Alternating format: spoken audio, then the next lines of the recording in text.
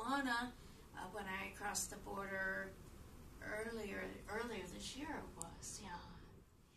Um, this vase actually is a replica of a Mayan uh, with Mayan uh, symbols on it. And um, we've got some alcohol. I've had this one a long time. It's made of paper mache. Guitars, of course, we think of Mexico. Oops. And this I thought was lovely, just made out of a gourd.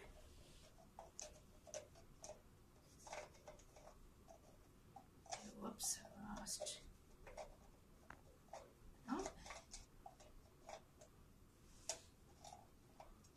Okay, anyway, nice. there is there is one place where it fits. There you go. We'll find it. Okay. So um, I'm uh, remembering.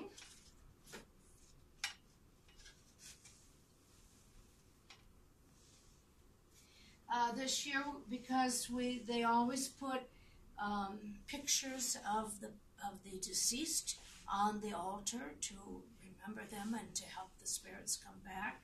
And this year, I am uh, remembering um, some of these fellows. This is Tamir Rice.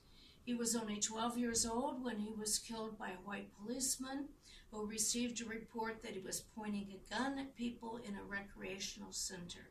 Tamir reached for his gun when the policeman arrived, but it was discovered too late his gun was a replica.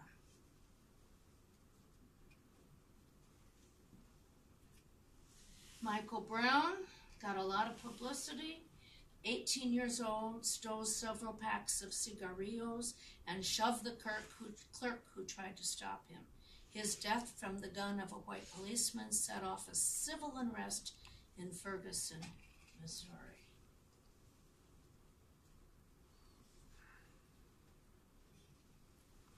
Eric Garner died in Staten Island after a white New York City policeman put him in a chokehold for about 15 to 19 seconds while arresting. He'd been accused of selling cigarettes illegally. I used, I forgot to bring a picture of my mother on the Great Wall of China. That's one of Oh. my favorite uh, photos of hers. And when I do this in my Unitarian congregation, uh, members of the congregation also put uh, uh, frame pictures of their loved ones and share some of their uh, memories. Okay. Um, the piggy bank is very uh, typically uh, Mexican.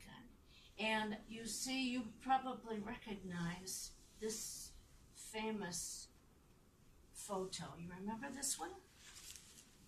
Mhm. Taken by uh, a record Yeah. uh, photographer from the record. So I keep this also in memory.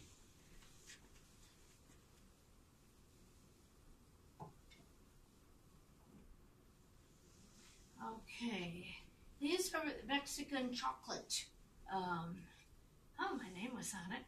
Mexican chocolate um, cups. Uh, I think they drink hot chocolate for breakfast. And this one, I don't remember where I got it, but these two straw crosses. Uh, last year, I went through the um, Unitarian California Ministry of Justice to the border, uh, which I've always wanted to do. And we spent uh, time on both sides of the border and saw the det- detainees who had been, um, I mean, the immigrants who had been uh, kicked out of the United States. Uh, we went to uh, a wall where there were family members on the U.S. side of the wall and Mexican family members on the other side of the wall, and they talked through. Even there was a church service that I went to uh, there, and this picture. I didn't, I didn't see this, but I think I, this is pretty hard hitting. These are effigies of people who have tried to crawl over the wall and Oh. get into the United States. Yeah.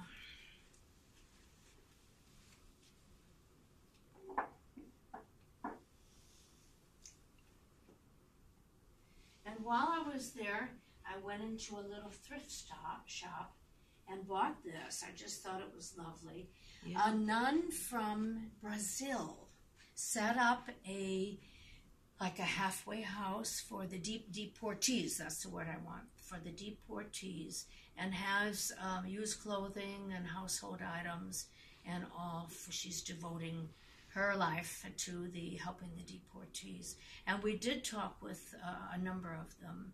Some of them had been uh, vets, had fought in our wars, and I guess they made some mistake along the line and were kicked out of the United States. So, oh, we also uh, went into a church and helped to feed 800, 800 hungry or homeless people um, that morning. And then again on the street, um, there was a woman uh, in a station wagon with her two children, I think, and the whole back of the station wagon was filled with food, with plastic uh, containers for the, and the hungry. It was mostly men, not entirely, mostly men, lined up all along the wall to get the chance to have that food. It was it was very emotional experience to see that. Okay. Oh, this I put out in honor, uh, remembering. Oh, that's not the right one. I had a little, maybe it didn't get unpacked. A little Jewish calendar to honor the estimated six million Jews and others that were killed during World War II. But the little, it's a little candle, and I guess it's still uh, packed away. Um, okay, this one. Um, while a student in Mexico, I went into a um, glass blowing uh, factory, workshop, I guess. And I bought uh, probably four of these. And then a few years ago in Bergenfield, I went into a thrift stop shop and bought four more. Oh. Can you? I couldn't believe my eyes. They have to have come from the same glass factory. I, Yeah. I was just uh, just amazed at that.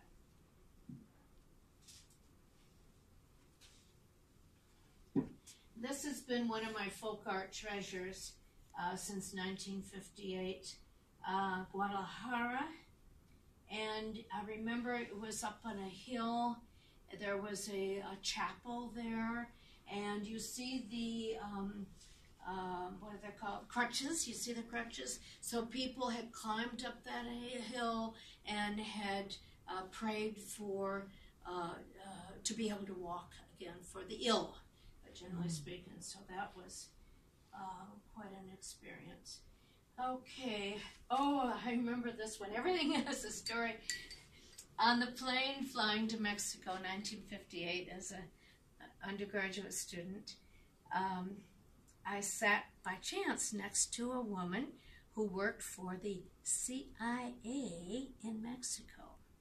And we became good friends as we bonded as the plane flew over. And she invited me for lunch to her apartment. And she sat at her table and rang her bell. And the maid came out and hmm. brought lunch. I really liked that. Yeah. So I bought the little bell. Oh. I kept ringing it, ringing it. Hmm. No maid walks out, but I remember that very well. Okay, this I bought locally, but it's really yummy um, uh, for uh, um, breakfast uh, cocoa with uh, Oh. some spices in. You can get that uh, ShopRite or wherever and enjoy that. Okay, there is a story here.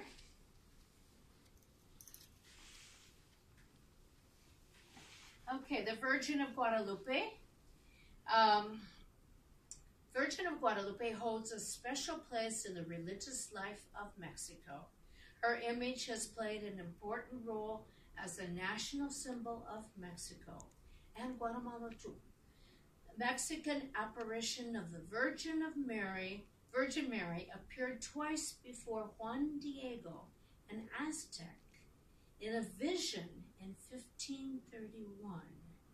According to the legend, she requested that a shrine to her be built on the spot where she appeared. The bishop demanded a holy sign before he would approve construction of a church.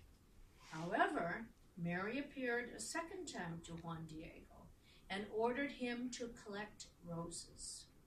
In the second audience with uh, the bishop, Juan Diego opened his cloak, letting dozens of roses fall to the floor and revealing the image of Mary imprinted on the inside of his cloak. Oh. The image that is now venerated in the Basilica of Guadalupe, a great big uh, old church in the uh, main square of Mexico City. And a shrine to the Virgin has existed on the site since at least 1556. And I remember that people walked on their knees to, uh, to get there on a pilgrimage.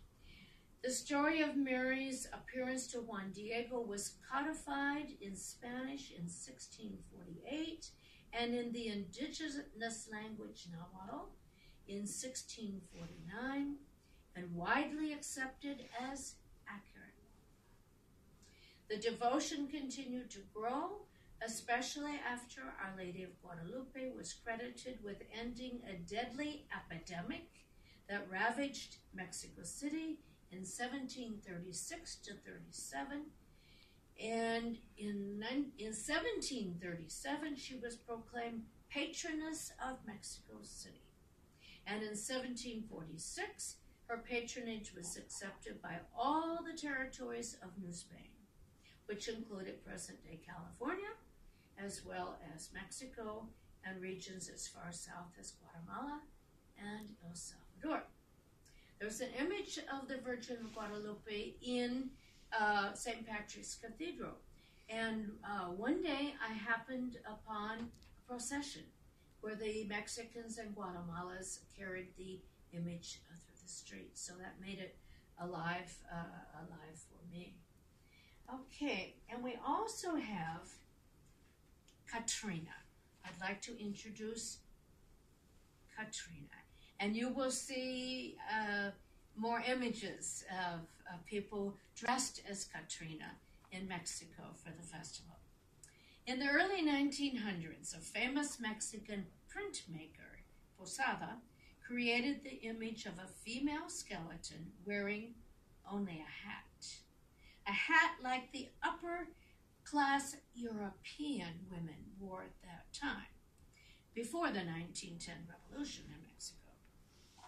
She became a satirical figure depicting those Mexicans who, ashamed of their Indian origins, wore white makeup and tried to pass as Europeans, imitated the life of the French. So Posada drew this image to poke fun at death itself. He took the inspiration from the image of the Aztec god of death when dead, everyone's equal. Many Mexican women dress up as Catrina when they participate in the Day of the Dead festivals, festivities, and her figure is ever present in Day of the Dead decorations, which you will see when I show you more images. Okay, and this is this one I got um, again last summer in Tijuana. Um, no, I got it in Bogota, Colombia. I bought it in Bogota, Colombia uh, last January. And um, it's also for the children, for the little children, an image of um, Guadalupe.